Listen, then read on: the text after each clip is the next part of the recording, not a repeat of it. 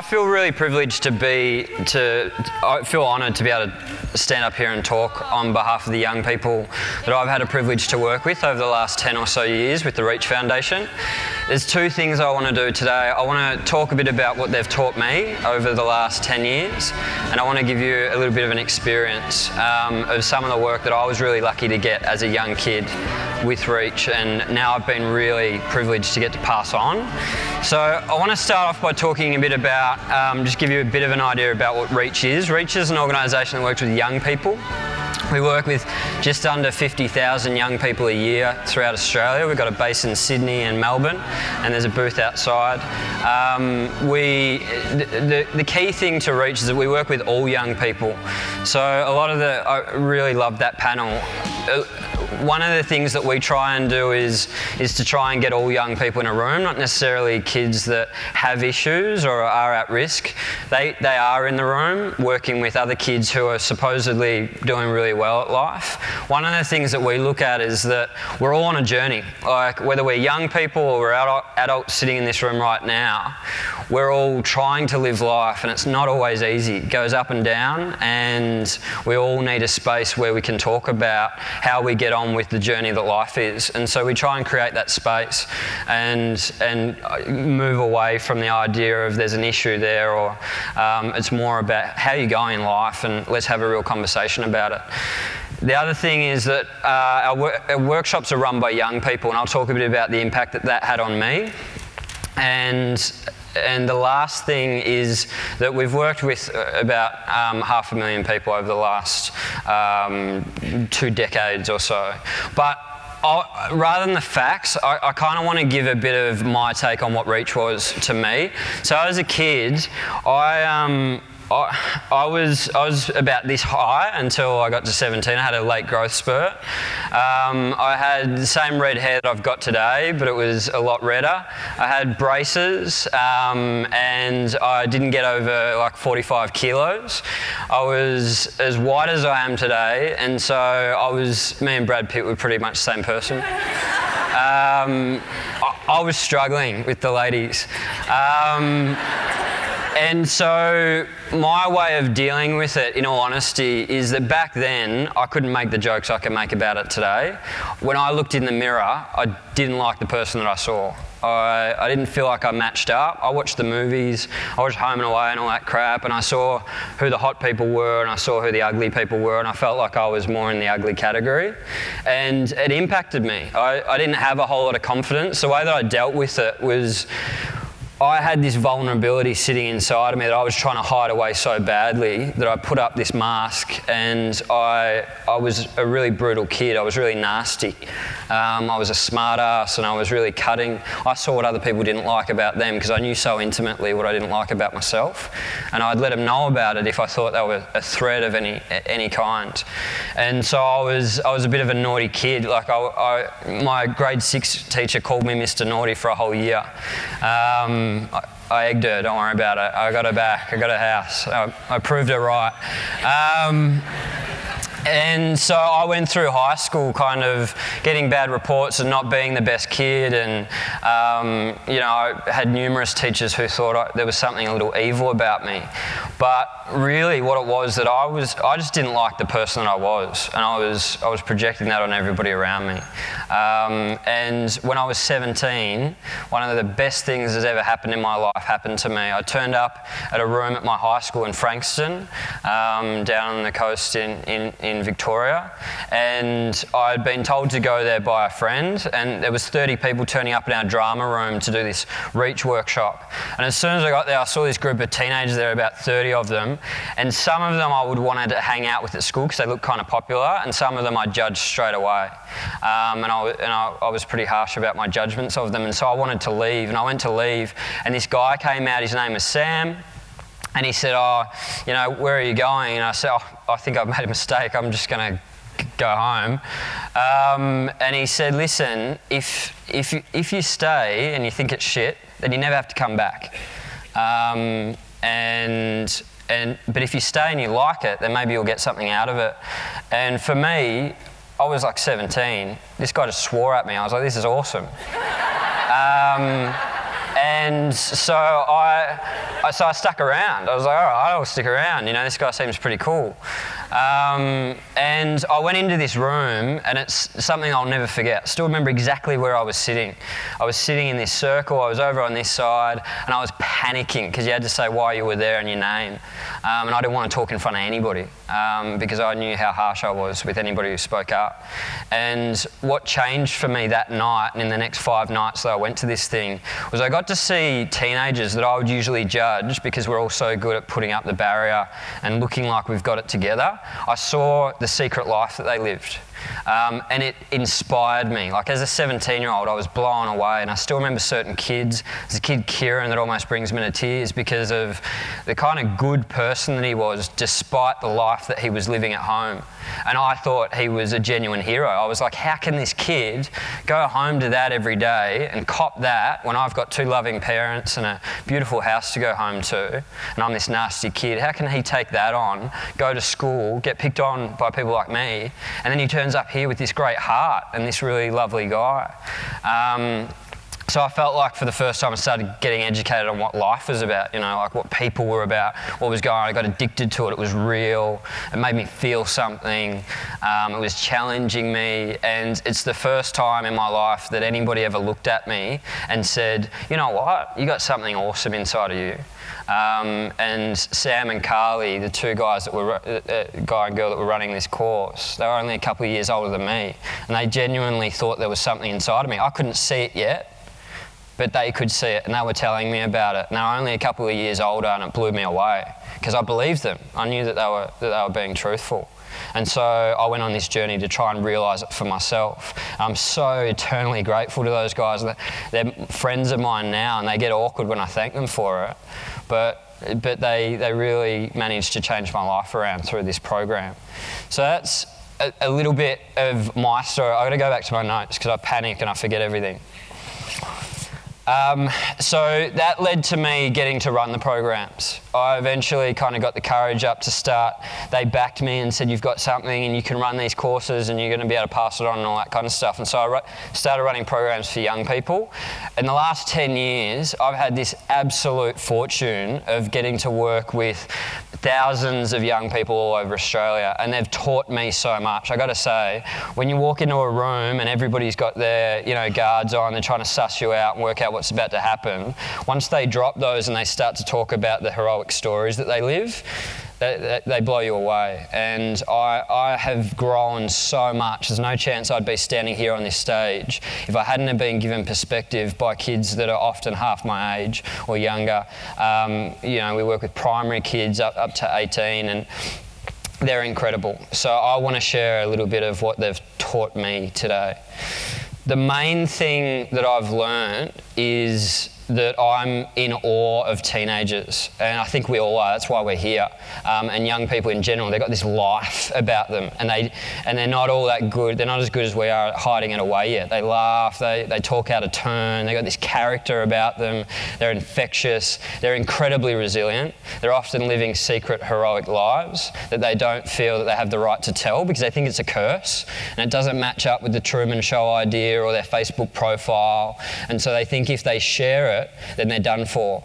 And, and what we try and create is just an environment where you can go share that story because that story is not going to define you. It's going to help you teach you what you're made of. Um, and once young people start sharing those stories, it's as simple as trying to reflect that back to them and, and show them show them what what they reveal when they get honest and they get vulnerable and they share the things that they're most scared of. And to say, that's you, that person that's living that journey, that, that's you, and we want you to realize that. So I want to give you a bit of an experience of this. It's kind of hard to explain, and so what I'm going to do is I'm going to take you through a thing called a sensory. So it's like a, a, a meditation, um, but it, it, it's kind of like a movie through your mind. I'm going to tell you an open-ended story, and you just imagine the picture to it, and um, and I'll see you on the other side. So where you are, all you need to do is close your eyes. Um, you don't have to, but it helps, and go along on the journey with me.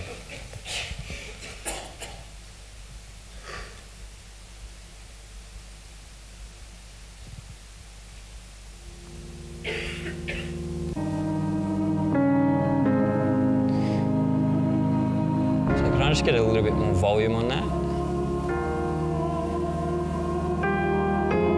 Yeah. So where you are, I just want you to simply picture yourself at the end of this conference. I want you to picture that you've headed home and you're standing outside the front door of the place that you live in.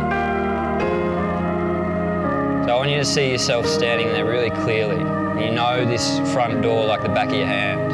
You're just kind of standing there with whatever bags you've got, you take it in, you can feel the weight of the bags on your hands. You put them down, you take out your keys, and you feel the keys exactly the way that they feel in your hand, and you open up this door. That familiar feeling of opening it up. As you close it behind you, it makes that same familiar sound. And for some reason, nobody's home. When you let your imagination take you this place, nobody's home, the place is empty, it's just for you walk inside and you head to the lounge room. In the middle of the lounge room is this box. It's this big old box with dust all over it. It's got your name written on it. You don't remember seeing this box or where it's from. You start to open it. You take the tape off, open it up, and as you go through this box, you find all of these mementos. Things, memories from different times in your life, awards and um, different photos, all these loose photos in there that trigger all these memories. It's got all this stuff that's just rich with the life that you've lived. And you're wrecked after this conference. The last thing that you pick out is this picture of you when you were a teenager. Just kind of looking at it. You lie down on the ground, just kind of start to almost daydream. And before you know it, you find yourself standing outside the gates of the high school that you spent most of your time at. Just kind of looking at the front of this high school. And it kind of looks small now that you're back there. You walk inside the gates and you start to wander around. And as you do, you remember different classrooms that you're in, you remember different memories that happened, where certain groups used to hang out. All this stuff comes flooding back in. Remember what it sounded like at recess and lunchtime when the place was going mental with life. As you walk past certain classrooms, you remember being taught in there, you can hear the teachers' voices almost. And finally, you end up in that part of the school where you used to hang out most. And when you get there, you see that there's a teenager already standing there. They're not facing you, you can't quite see their face, and you just kind of walk up, and as they hear you approaching, they turn around and look at you. And as they do, you know exactly who this is. This is you when you were a teenager. As you're looking back at yourself, you start to realize you know everything that they're about to go through, everything that they're going to experience, everything that they'll see, all the people that they'll meet. So you decide in this moment, I'm going to offer them a piece of wisdom one thing that I say that hopefully they'll remember for the rest of their time. And as you stand there, you deliver that piece of wisdom.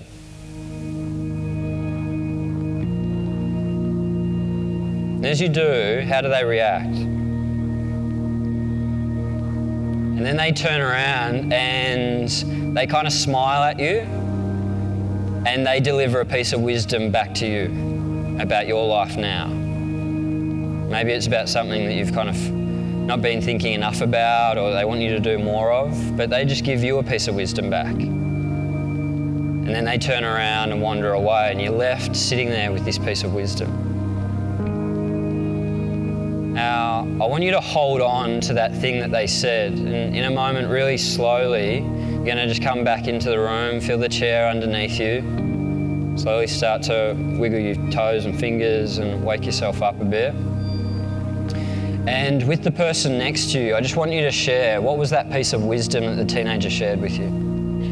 Just really quickly with the person next to you. I might be a bit awkward and a bit weird. Just want you to kind of step through that. Acknowledge it if you're freaking out. Maybe you got a crush on them. So what was that piece of wisdom that the young person shared with you?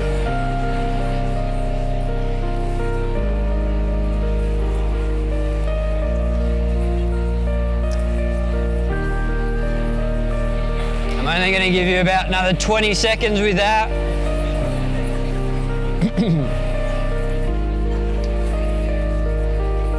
Okay. Now I'm going to wrap you up there. I know I gave you no time at all, but I don't have any time. So, what I'm going to do now is I just want to hear two of these pieces of wisdom. Um, so I'm going to throw it out to the group. A couple of brave souls somewhere in the room. Get one from each side, and we've got a couple of mics either side here. Um, would I be able to get the lights up on the room? Put it back on you guys for a second. Um, so I'd love to just hear from two people. Um, have we got some hands up there? Yep, brilliant. Okay, can we please get a mic up there? You're alright? You don't need a mic. You've got a great voice. Gotta get it passed along, please. And someone over here. Brilliant. Thank you. Me so we'll first. start up here, at the back. Um, I don't have a great voice like Jordan.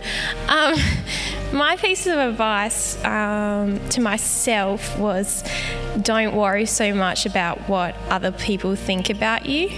High school is renowned and infamously known for, for feeling judged and, and that kind of stuff. Yeah.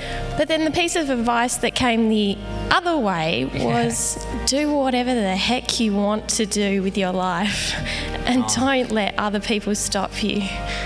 I don't know where that came from, but I'm listening to it, so that's why I'm holding a microphone. That's awesome. That's brilliant. right. Love that. Thank you. That was brilliant. And one down here. I'm not sure if I could top that. um, I actually brought tears to my own eyes, which is Yeah. hard to do. Um, what I said to my teenage self, because I know what the, what was going to happen, was to be strong. Yeah. Um, but then the teenage self said back to me, "You were always strong." Yeah. So I don't know if that's advice or if that's saying. Definitely, yeah. I think it's brilliant. And and it's, perfect what you just said because the reaction that went off around was that, oh, you know, like everybody can kind of feel that. And I, I, I, want to quickly mention my time is out. Um, I'm, I'm always shocking with time. But I, I want to I wanna quickly just clock the way that it feels when people share like that. Because I really want to acknowledge you both for sharing again, just quickly, because it's huge.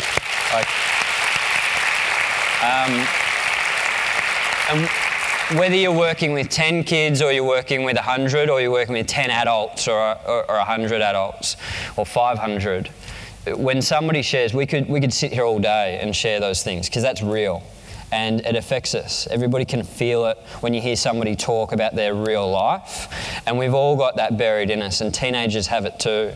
And they just need places to express it. So, one of the things that I, I freaked out when uh, well, I've been freaking out for about four months since I knew I was doing this.